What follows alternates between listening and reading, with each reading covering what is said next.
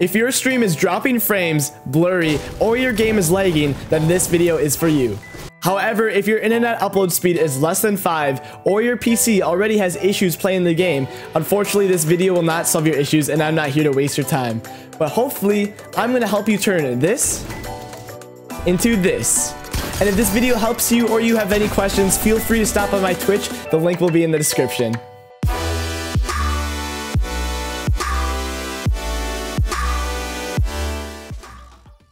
If you are planning a stream, you might want to check out the sponsor of today's video, Own3d.tv. They are a group of graphic designers that deliver a high quality and professional facecam borders, alerts, and so much more for your stream. Streaming should be about you, entertaining your audience, and looking good while doing it. And Own3d.tv saves you countless hours trying to make a professionally designed stream when you can find something on their website that fits your style and personality.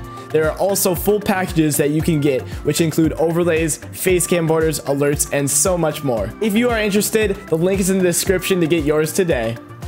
We are going to be going through a lot today, but sometimes there's a quick and easy fix that just happens to solve the problem. And one of those easy fixes that may help you is switching from Streamlabs OBS over to OBS Studios because it is known to cause less issues on OBS Studios. Another quick fix is going to Streamlabs OBS or OBS Studios and right clicking it and running it as administrator. This will open it up and it will allow it to take full advantage of your PC's resources.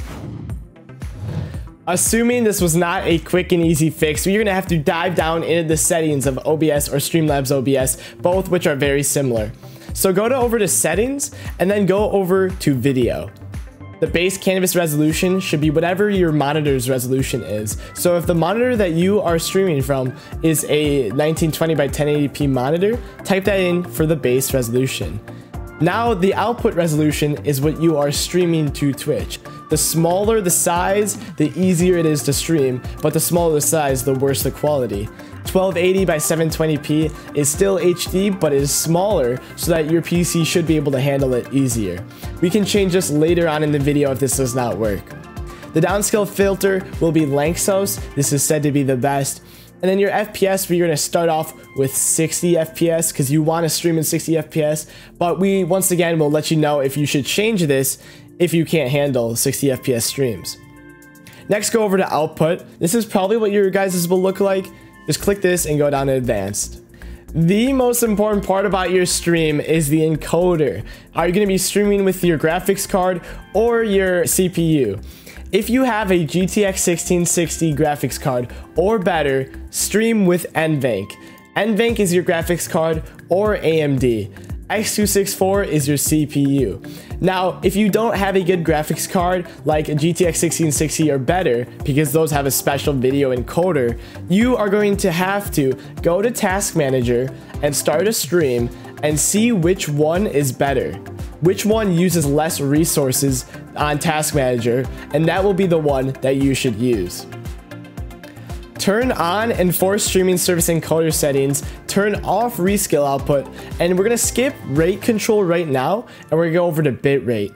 Bitrate is basically your upload speed. The maximum bitrate you can use is 6000 for Twitch. 6000 bitrate equals 6 upload speed. So, if you only have 5 upload speed, you cannot use 6000 bitrate. You're going to have to lower that down to a little under 5000 bitrate so that your game and other people on your network still have enough upload speed. So, my recommendation is if you are at about 8 upload speed or higher, turn this to 6000. If you are at about 5 upload speed, make sure you have a full 1000 kilobytes less. So 5 goes down to 4000 kilobytes per second for your bitrate. Rate control, set that to CBR. That stands for constant bitrate. You want that bitrate staying the same the entire time because this makes or breaks the quality of your video. The lower the bitrate, the less bits the video pushes out to Twitch and it will make it a little bit more blurry. So if your stream is blurry, it may be because of the bitrate. Keyframe interval, set that to 2. That is what Twitch wants you to do. preset, I would recommend turning this to quality, but if you are struggling, you can turn this to max performance. Max performance will lower the quality of your stream, but it will make sure everything runs smoothly, which is good. It's better to have a smooth running stream and a little bit bad quality than a really choppy stream. Set the profile on OBS Studios or Streamlabs OBS to high. This makes sure the PC prioritizes your stream above everything else.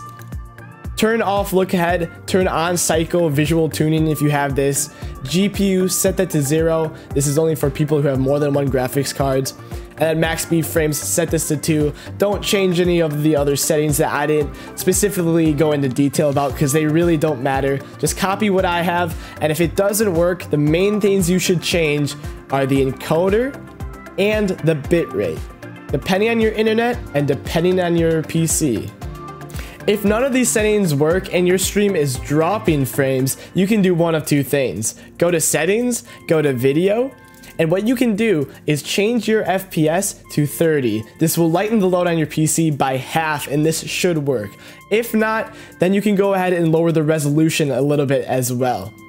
If your stream looks blurry, however, you can go to output and change the bitrate, make sure it's at 6000 if it is not at 6000 and you are playing Fortnite, there may be a little bit of blurriness. And that is just because Fortnite is a fast paced game that you will probably need the full 6000 bitrate. But if you're playing an easy game like Fall Guys or Among Us or something like that, uh, a lower bitrate will be perfectly fine and you guys won't be able to notice. If your stream is running perfectly fine, but you are dropping FPS in whatever game you were playing, such as Fortnite, just know that this is normal. From here on out, your issue is not going to be trying to get a stream to work, it's going to be trying to build up your FPS. Now, my best tip for this is if you are streaming in 1280 by 720p, you might as well lower the resolution you are playing at to 1280 by 720p, just so that you can get more FPS in the game that you are playing. Now, there are so many tutorials out there on how to get more FPS. I'm not going to go into every single detail on whatever game you are playing on how to improve your FPS, but just be thankful that you have a stream that works fine. My last piece of advice for you guys is if you are planning to buy a new PC or laptop to start streaming from because your one currently is not working, don't cheap out. Don't be like me. Do your research and find something that's good and make sure you you just don't cheap out and you, you don't be that one guy that doesn't do his research. If you guys have any questions, feel free to join the Discord. Joined by my Twitch streams. My wonderful admins and moderators will be able to help you as well as me. Wonderful. Okay. If you guys enjoyed the video, make sure you leave a like, subscribe, and we'll see you guys in the next one.